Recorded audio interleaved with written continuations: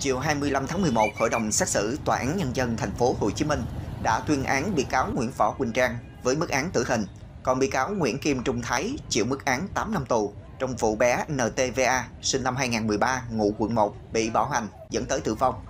Hội đồng xét xử cho biết cáo trạng và luận tội của Viện Kiểm sát Nhân dân thành phố Hồ Chí Minh truy tố bị cáo Nguyễn Võ Quỳnh Trang, sinh năm 1995, ngụ tỉnh Gia Lai, trú quận Bình Thạnh, thành phố Hồ Chí Minh, tội giết người, hành hạ người khác. Bị cáo Nguyễn Kim Trung Thái, sinh năm 1985, ngụ quận Bình Thạnh, thành phố Hồ Chí Minh, là cha ruột của bé gái, tội hành hạ người khác và che giấu tội phạm, là hoàn toàn đúng người, đúng tội, đúng pháp luật. Hội đồng xét xử nhận định hành vi của bị cáo Trang là đặc biệt nghiêm trọng, quá tàn nhẫn, đê hèn nên cần loại bỏ bị cáo ra khỏi xã hội. Đồng thời bị cáo Trang bị phạt 3 năm tù về tội hành hạ người khác, tổng hình phạt chung là tử hình.